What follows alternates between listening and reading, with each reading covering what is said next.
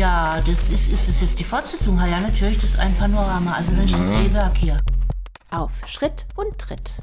Audioguide Stühlinger, erster Satz. Am Wochenende war jetzt sozusagen der Kick-Off mit dem Workshop und da waren acht bis zehn Menschen hier und das ist das Redaktionsteam, das in der Zukunft zusammenarbeiten wird und es entstehen zwischen acht und 13 Stationen.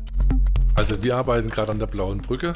Das E-Werk ist für uns das soziokulturelle Zentrum überhaupt. Der Stühlinger ist ein internationales buntes Viertel und äh, das, dazu wollen wir auch ein, eine Station machen. Und das ist so das Zugangstor äh, zum Stühlinger. Wir wollen in unserem Beitrag die historisch-politische Bedeutung und die gegenwärtige Bedeutung dieses, dieser Station zeigen und auch mit viel, ganz viel Atmosphäre und mit Musik und allem, was da so in diesem Zentrum so los ist.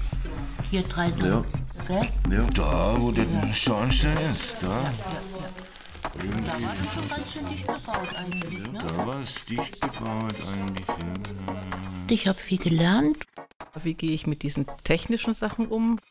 Was sind Experten für welche Themen, für welche Orte? Wie baue ich eine Station auf?